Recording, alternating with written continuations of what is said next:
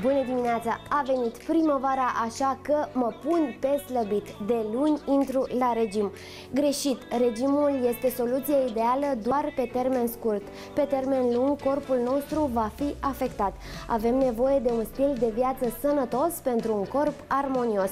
Vorbim astăzi despre micile trucuri care ne ajută să ne păstrăm silueta, dar să fim și mult mai sănătoși, fără să ne dăm seama că ținem o dietă.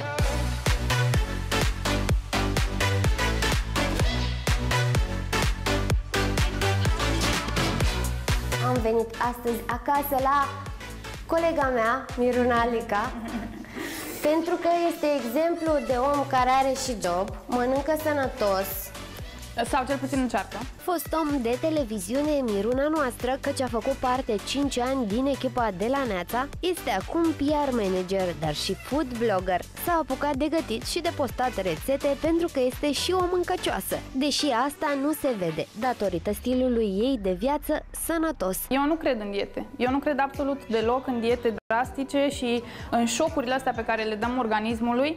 Adică, din punctul meu de vedere, asta ce avem noi acum pe masă trebuie să fie un stil de viață. O farfurie completă ar trebui să conțină proteina de bună calitate, fie că vorbim de cea de origine animală sau de cea vegetală, carbohidrați complexi pe care îi găsim în legume și cereale integrale, puțină grăsime, dar și foarte multe fibre, pe care de obicei le găsim în frunzele verzi.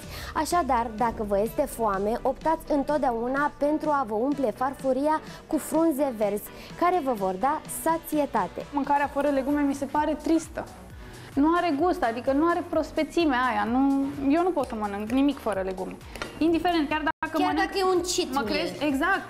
Asta voiam să spun. Îți iei o că eu- salată verde, eu- nu? Exact. Și pastele le mănânc cu salată verde și pizza o mănânc pa- cu salată verde, că și eu mănânc paste și pizza că să om și îmi plac. Mai e un mit pe care îl aud în jurul nostru, că nu au timp oamenii să se Nu organizeze există așa și, domne, am, mi-am luat un covric de la colț pentru că nu am avut timp. Câte ore muncești pe zi? 8 ore. 8 ore și dacă stau Și să drumul? calculez, drumul încă o oră, cel puțin. Cel puțin. Faci curat, îți speli, îți calci? Merg la sală. Am doi câini pe care trebuie să-i scot afară de dimineață și seara.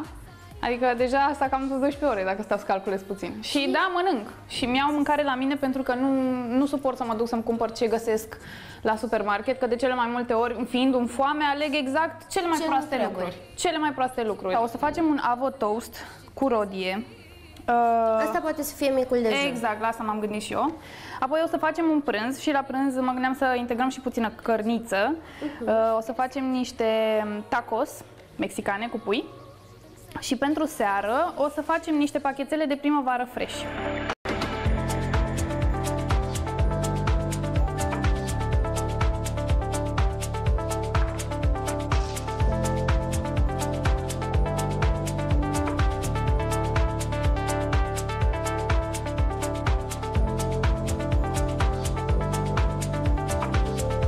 Ce ți-ai propus tu de-a lungul vieții să faci de luni? Ai- Ce ai zis tu? de Aoleu, luni? dar ce nu mi-am propus să Da, fac de zi. luni? Mi-am propus ca de luni să mă duc la sală, mi-am propus ca de luni să nu mai mănânc dulciuri, mi-am propus ca de luni să scot uh, căței în parc mai des, mi-am propus ca de luni să renunț la anumite vicii, la care am renunțat între timp, by the way. Când ți-e poftă de dulce, ce fruct alegi sau ce mănânci?